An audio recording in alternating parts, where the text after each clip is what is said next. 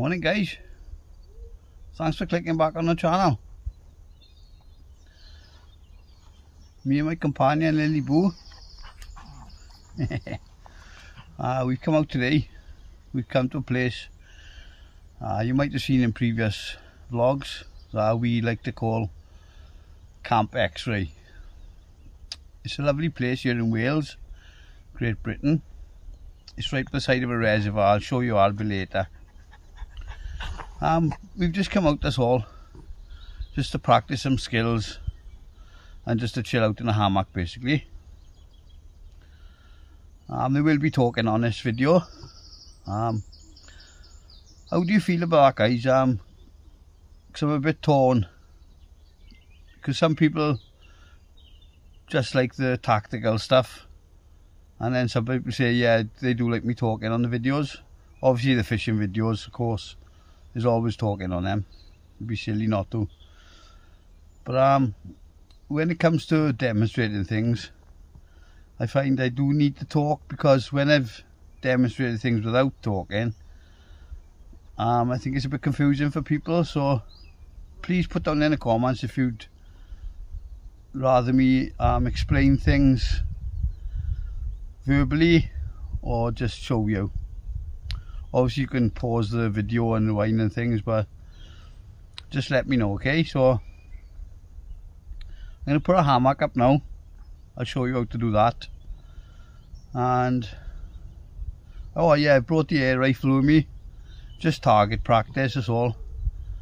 Um yeah I'll show you the gun as well. I've I'll show you um I've sort of pimped it up a bit you know?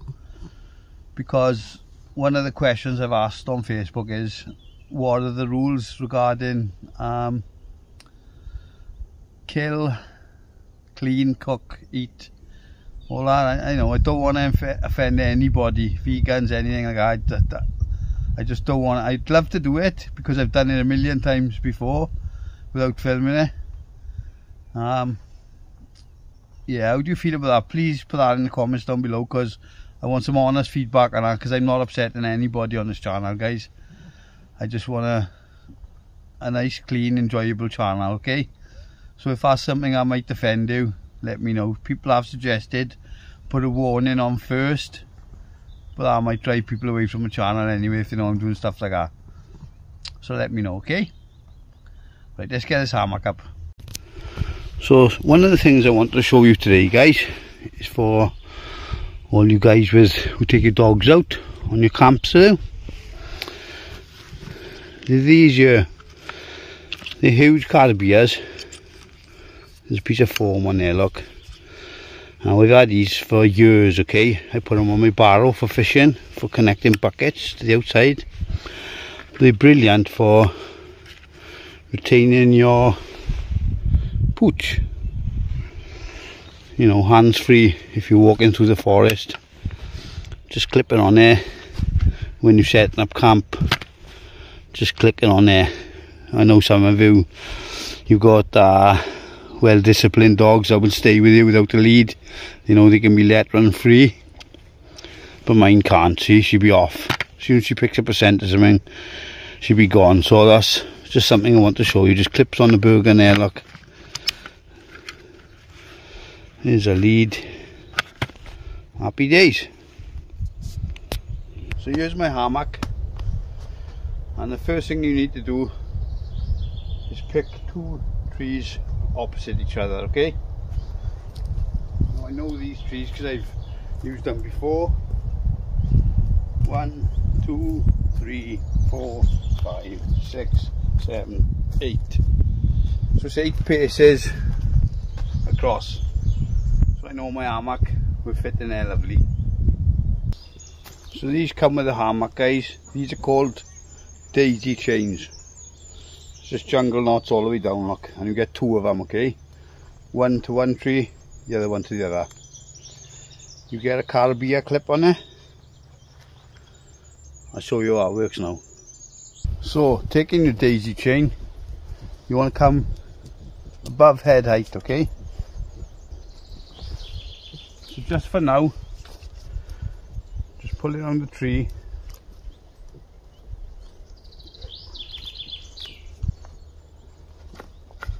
like so. It's about there.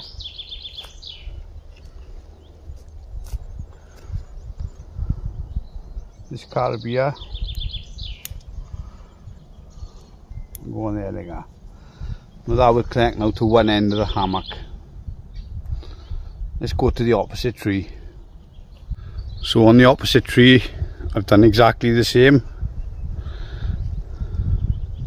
With the carabiner on the end, just for now, until I get the right measurement, see?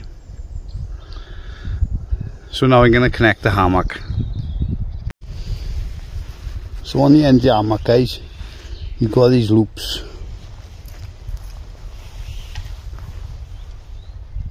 Taking the carabiner, connect it through loop, walk it across to the other side. I'm on the other side now, okay?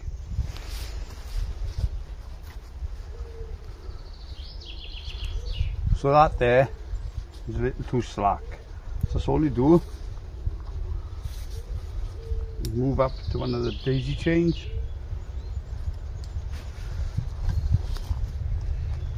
and put it where you think is correct. Let's try it out. When you get in the hammock, plonk your butt on the end, on the left, okay? So you want good ground, ground clearance. So that's absolutely perfect there.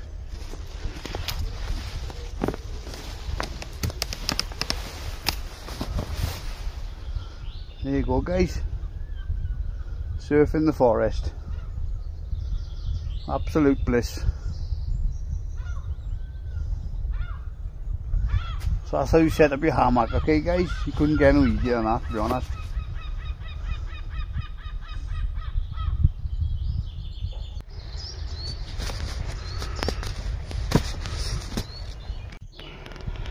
So what I've got in mind now guys, I got my German sleep pad inside look.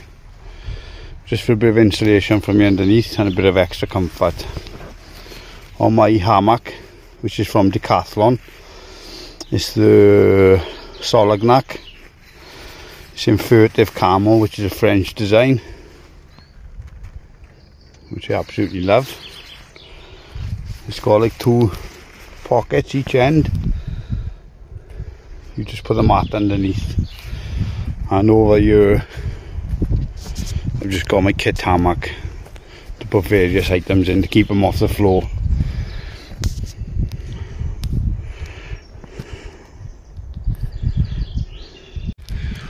so just on uh, the theme of keeping everything off the floor I've got my little homemade table here so I can stand up now and do my cooking or make a brew or what have you without being on my knees. So it's great for people with bad backs. So all it is guys sawn off branch. Obviously measure it to the height you want. A bungee around the tree uh, two of these ball elastics on the end. You know the ones? And there's your little table. Got all my gear there. I got my water in there etc my cooking station. My hammock. My princess. Just in case it does get a bit intense with the gnats etc I've got my head veil and I've got some British Army mosquito repellent or bug repellent. You can pick these up cheap guys. Um, get hold of Lee in the bug out shop. I'll put a link in the description. You can sort out with some of these they're brilliant okay? They're 34% DEET something else to show you guys I found on eBay. Um, I'll have a look for the link for you so this is a basher bag they came they came uh, they come in all sorts of camouflage obviously it says DPM there's a pocket on the outside for your stakes, look.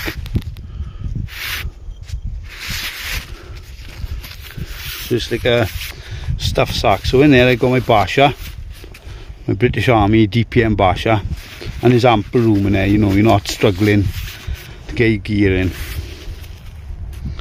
So that's all uh, I'll try and get the link for you guys and put it in the description down below. Brilliant bit of kit. So here's something else I got guys from the same people on eBay. It's a wax canvas bag. Bear with guys, I'm doing it one hand, one sec. For your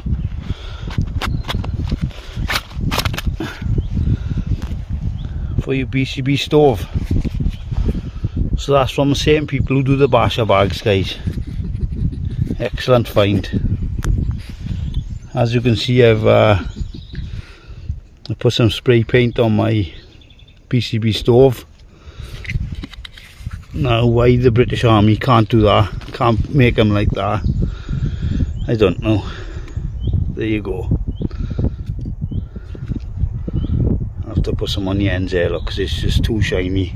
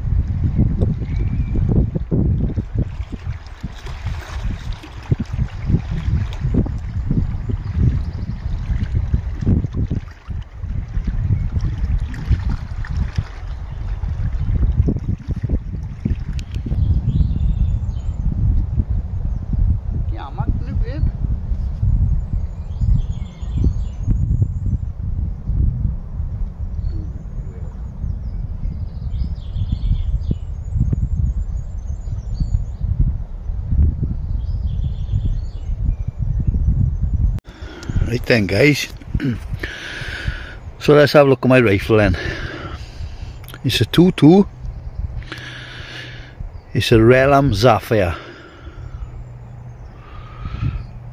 Obviously I've tarted it up a little. With some burlap. Some spray paint. And up until now I've just been using it for target practice. I'm going to put a few targets up now and uh, we'll have a look how it performs, okay, and how it operates. Right, so this is how we load it up, guys, right? It's a break back. Take your pellet. Put in the end there. cock is shut, okay? There's no safety on this particular rifle it's just there okay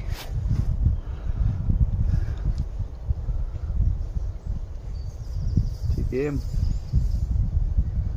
now breathing is important here okay so you've got the stock there in your shoulder, okay? You want bone against bone, so I got into my shoulder bone. So lining up my target. When I breathe in, I'm going to exhale slowly and hold it at the end, okay? Then I'm going to take my shot. The pad of my finger is on the trigger. I'm not snapping it. I'm just pulling it back.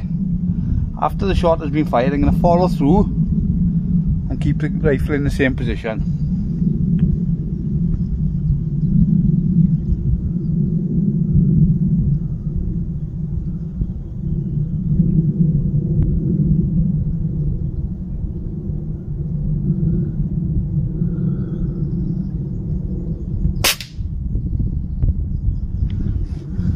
So. Show you another one.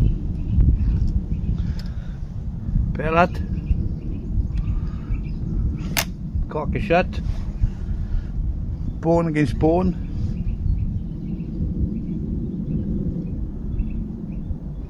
Breathing in.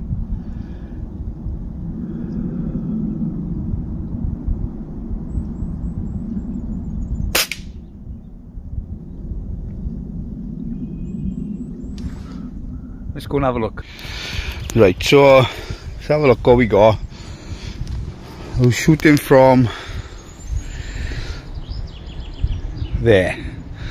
Okay that's about 50 yards. I had to make an adjustment after the first pellet. So look what we got. So there's the first pellet. I made some adjustments. And we got it there okay? That's not too bad. Uh, a bit more refinement with the adjustments and I'm sure we'll get it. Let's try one yeah? We'll try one shot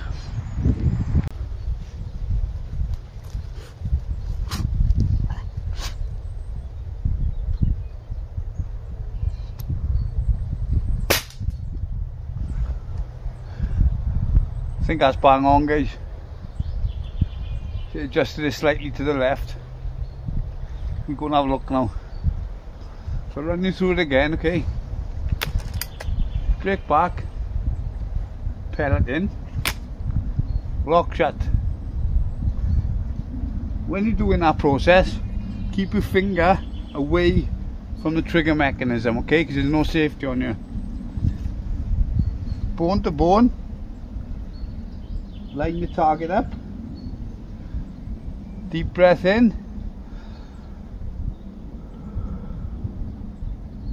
Hold it on the exhale okay? Pad your finger. Follow through. Taking a shot there. Follow through and hold. And that's how you do it okay guys? Let's go and have a look How do reckon we done guys? I know it's going to be on target and when I look through the scope he was bullseye. Let's have a look, yeah. See if I still got the magic touch. Yeah. So there we go, look. You see it? See if I can zoom in for you, on. There you go, look. So there. So that's definitely a kill. Happy days. Easy peasy. Chop and easy. Just gonna have some lunch now guys, some scoff. So I've got some homemade chili. I am gonna rice it because I don't want the carbs today. Not too much. Uh, so I got homemade chili which Ailey made for me, that's my partner. I brought a bottle so I can show you what you're looking for guys this stuff is absolutely amazing. Um, home bargains again guys. Encona's eh? Encona. This is absolutely brilliant if you like things hot. So that's my lunch there. And I've got Lily Boo a favourite a chicken drumstick. Obviously you don't have the bones. Here you go. What's up babe? Din dins yeah obviously she doesn't have the bones okay but I'm going to chop that up for her eh? now she gets stuck into it She can't wait, look, she's trying to open it herself. Daddy doing now, babe? There, babe.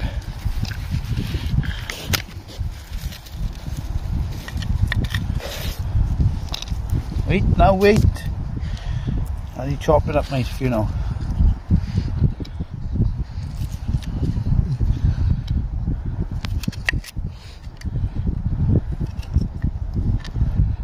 Get you, babe. Let's get rid of that. Oh, you can't have the bone, babe. The bone's coming home with us, guys, okay? You're not having that.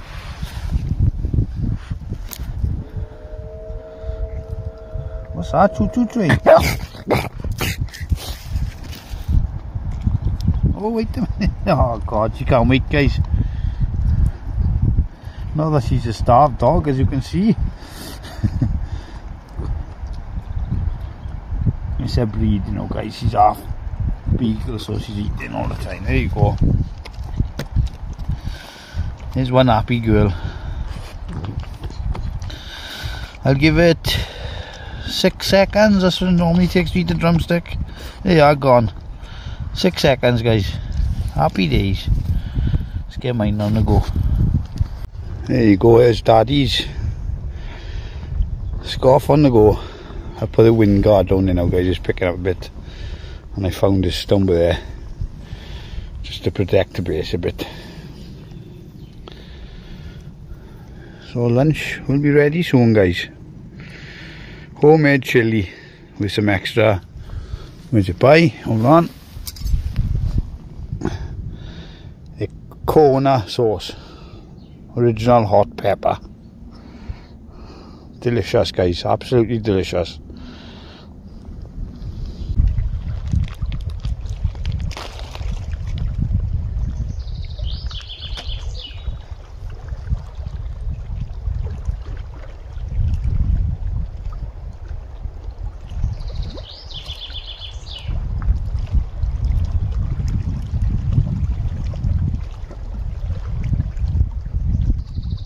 Honda.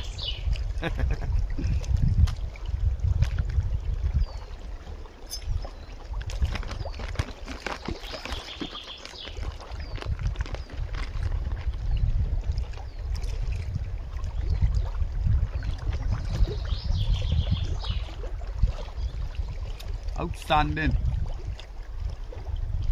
Well done, Ely love. You've surpassed yourself again in the chili.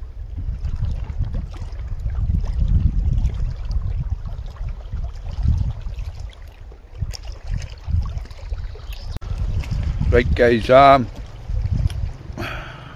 me and Lily's gonna head out now. Just something before we go about YouTube. There's a lot of copycats out there. There's a lot of copycats. Um, not mentioning any names, but one YouTuber this week has copied some of my material. Didn't do the decent thing and give me the credit because it was my idea. This YouTuber's got thousands and thousands and thousands of followers basically because the thumbnails and in a bikini or virtually no clothes. Yeah it's a female. It would be wouldn't it? Yeah a lot of copycats out there. It's great seeing people using my methods that I've learnt over the years. But for somebody to use one of my ideas and not give me any credit for it is a bit shallow really in my opinion. You probably all know the YouTuber. I have commented on the video. Nothing harsh, would never do that. But my comment didn't even get a reply. And as I was looking down through the comments, something else I picked up on that these big YouTubers do is they don't reply to all the messages. Only the messages that's blowing smoke up your asses. So I endeavour to never end up like that. I never get a thousand Zagar obviously because I'm an Greek git. But I do my very best to reply to all the messages guys, you know that. And I'll help you out as much as I can. So that's my little rant guys over and out on that one. But uh, I prefer the smaller channels guys. There's loads of good ones out there you know for the camping and things. I can name loads of them. Um, but these big ones honest to God it's just gone to the reds. He's so rude and uh, they haven't got time for you basically. But it's not only in camping, you guys are seen fishing as well. Just recently, um, you might have known I won a competition. It was a pairs competition and I won it on my own. I won it fishing solo. So I sent the catch report to the company that I used all the end tackle with. Email, you know, done it all tidy, professional, courteous. Didn't even reply, guys. So I give it three weeks. Then I said, have you received my email? And the reply I got back was, well, I'm guessing we have. And that was it. So that's basically telling me, well, your face don't fit, so fuck off. I won't mention the name, guys, but uh, nah, I won't mention the name. That might come another time, right? But I'm with a decent company now. I'm with Sharp Tackle we're in contact most days. What a difference. Right. So me and Lily's gonna strike down camp now and then we're gonna head out. Thanks for watching guys. I'll see you on the next one. Okay guys. Thanks for watching. See you on the next one